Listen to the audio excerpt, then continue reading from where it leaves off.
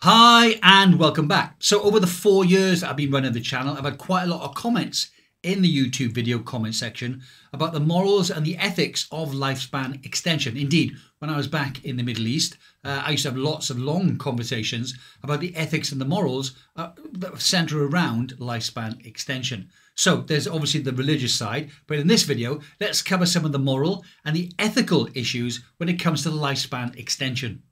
This is a review of a piece I read that was penned by Julian Koplin and Christopher Gyngell and published in The Conversation, where they cover important moral and ethical questions about the possibility of living forever. And there are links in the description below to the studies and to the articles I used to put this presentation together.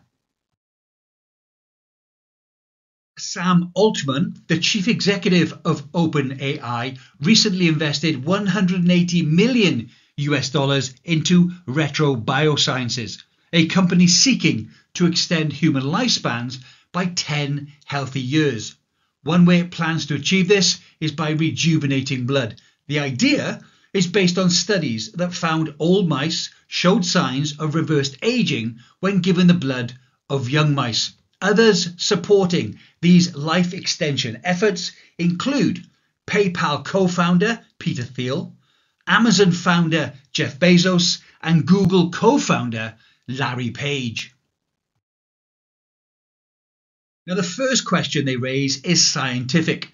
Could these technologies actually work? Well, the jury is still out, and there are grounds for both optimism and obviously skepticism.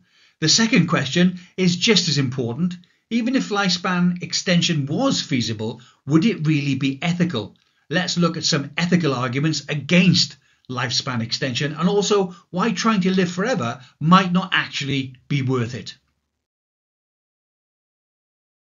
Now, one may argue that lifespan extension merely pushes back the inevitable in that we are all going to die. So, lifespan extension will only be temporary. A lifespan extension of 10 years is akin to saving a drowning swimmer, only for them to die in a traffic accident 10 years later. Although we may be sad about their eventual death, we'd still be glad we saved them. The same is true of conventional medicine. Let's say a doctor cures someone of cancer. The patient will eventually die of something else. But that doesn't necessarily mean the doctor or the patient regret being saved from cancer to begin with. It's also worth taking a longer term view of where lifespan extension research could actually lead us. In the most optimistic scenarios put forth by some experts, they say even modest short term gains could help people potentially add decades or even centuries to their life, since the benefits of each intervention could actually cascade. For example, each year of life would increase the likelihood of surviving until the next significant medical breakthrough. Now, many have argued against lifespan extension on ethical grounds, saying they wouldn't use these technologies anyway. But why is this the case? One view is that a very long life might actually be undesirable. Philosopher Bernard Williams said life is made valuable through the satisfaction of what he calls categorical desires, desires that give us a reason to actually want to live.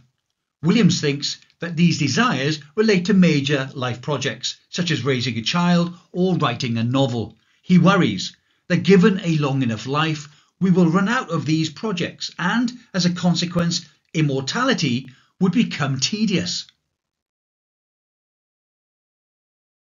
Some philosophers, on the other hand, point out that human memories are fallible and certain desires could resurface as we forget our earlier experiences. Others emphasize that our categorical desires evolve around our life experiences and they reshape our interests and might continue to do so over the course of a very long life. In either case, our categorical desires and hence our reason for living would not be exhausted over a very long life. Even if immortality did get tedious, this wouldn't count against modest lifespan extensions. Many would argue that 80 something isn't long enough to explore one's full potential.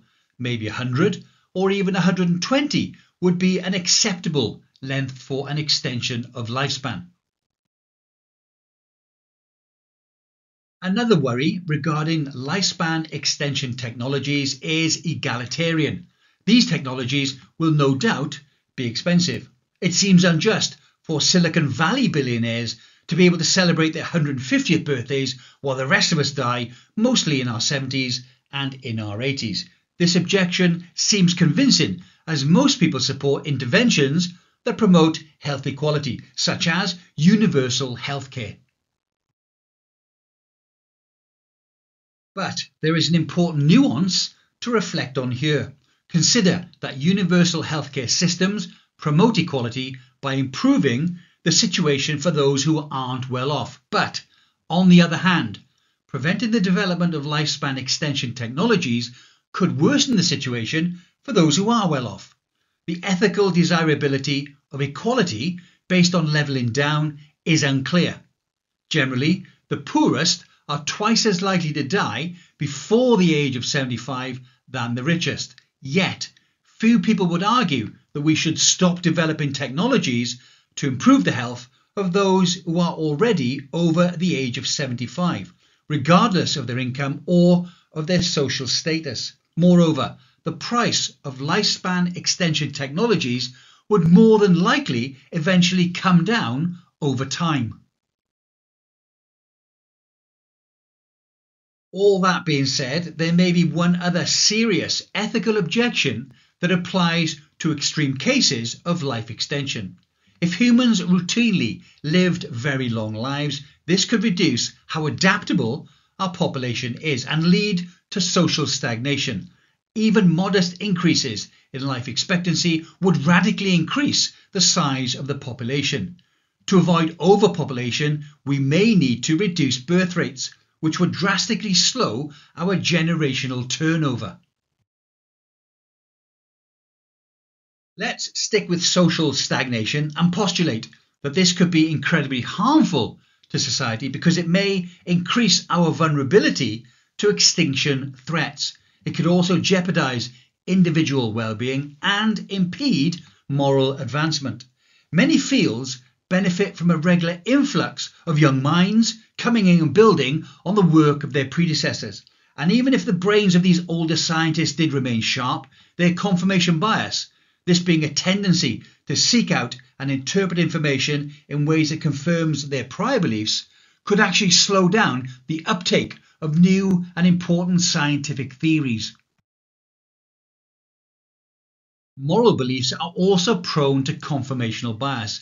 In a world of extended lifespans, individuals whose moral views were set way back in their youth, perhaps more than 100 years ago, will still remain in positions of power. It seems likely that some societies' moral codes are flawed, at least in some respects. After all, we think that past societies were catastrophically mistaken in theirs, such as when they endorsed slavery or punished PTSD, sometimes with execution. Slowing generational turnover could delay the point at which we recognise, and then we start to fix our own moral catastrophes, especially those we cannot yet foresee. Well, I hope you found that interesting or informative, and I hope you found it thought provoking too. This is a subject that will have many, many theories, but at present, very little scientific data. So, something we'll all be able to talk about for a long time to come. Let's quickly revisit the modest lifespan extension model. Um, if 80 is too young, what do you consider an acceptable extension to lifespan? Let's say anything over 100 years old that will allow you to reach all of the life goals that you've set yourself now, but without having something like a negative effect on potential birth rates. Let me know what you think in the comment section of the YouTube video.